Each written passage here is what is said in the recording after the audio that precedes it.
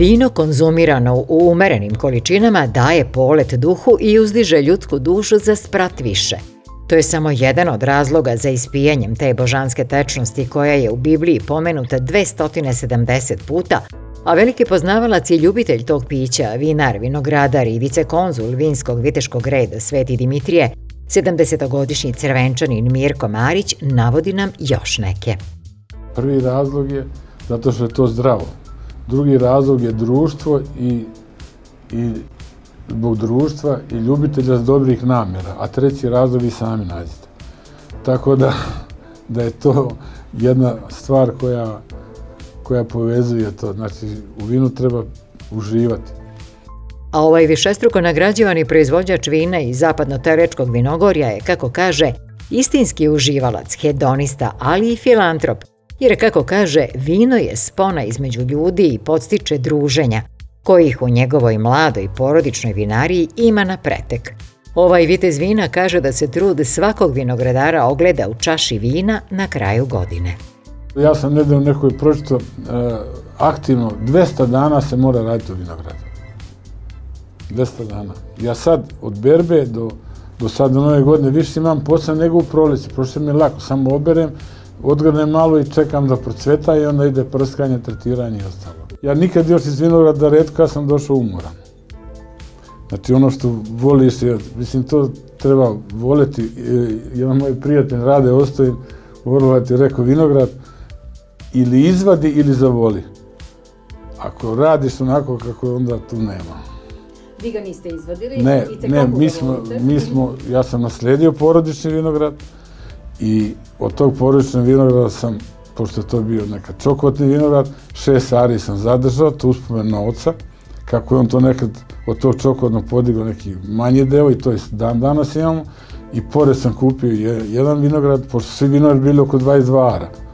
I sad to negde oko 60 nešto ari i onda sam tu posadio i posadio sam sve sorte koje su poznate Među njima su Marcelan, Sauvignon, Muscat Hamburg, Palava, Manzoni, Probus i Frajla, od kojih se godišnje u vinariji Marija, koja je dobila ime po Mirkovoj i Miličenoj čerki Mariji, proizvede oko 3000 litara kvalitetnog vina.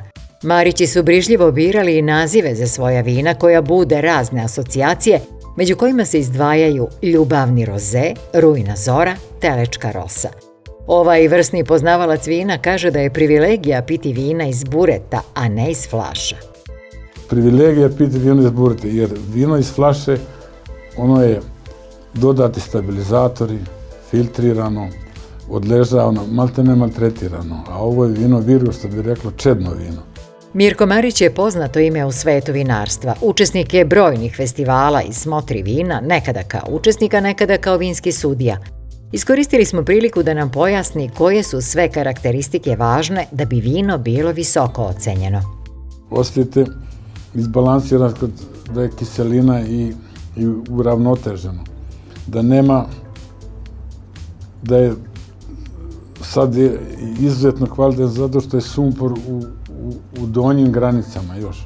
Znači još nije neprevrlo. Završnicu ima kad progutate pozadi završni, da, da i bitno je, evo gledajte, ovo je mlado vino, vidite kakva, je, kakva mu je boja.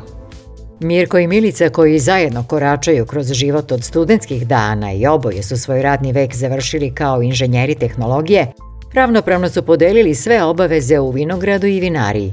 Svoje stručno znanje iskoristili su i u proizvodnji vina, a svesrednu pomoć imaju i od svog sina koji je takođe tehnolog – Iako je reč o kompleksnom tehnološkom procesu, dve stvari su ključne za dobar kvalitet vina, odaje nam tajno naš domaćin.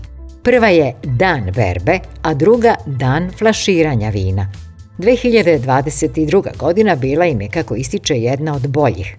Na naše pitanje ima li računice u vinogradarskoj proizvodnji, Marić je odgovorio u šaljivom tonu da kada bi pravio računicu sigurno je ne bi bilo, ali pošto je on ne pravi, računa ima vinograd iziskiva, iziskiva mnogo truda i rada, a i najviše ljubavi. I ako to, toga nema prema tome, onda jako teško. A u vinogradu e,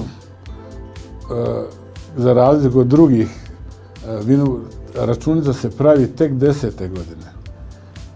Da li si dobro radio ili nisi i da li imaš zarad tek kad navrši deset godina. Za razliku od ovih ratarskih kultura koje svake godine ima. Praviš i onda vidiš gde ti je računica. Najveća satisfakcija u njihovom radu su nagrade i priznanja na raznim manifestacijama koje se organizuju u slavu vina, jer žele da povrate stari sjaj vinogradarske tradicije u Crvenki, duge dva veka. Njihova porodična vinarija koja je počela da radi 2013. godine proizvodi i prirodnu lozovaču, komovicu, telečku mastiku i kajsijevaču, za koje u Crvenki i Kuli postoji lista čekanja prilikom kupovine. Specifičnost njihove vinarije je što je ona smeštena na samoj obali Velikog Bačkog kanala, što bi i porodica Marić voljela da iskoristi kao svoju prednost i da se svrsta u red vinarija koja će goste primati sa reke, odnosno Velikog Bačkog kanala. Domaćin će svaki znati dobar savjet se isplati sa novog portala Vreba Saveti sa Agroneba. Posetite ovog trena i nestaće ta dilema. agrosaveti.rs Sajt koji nudi odgovore.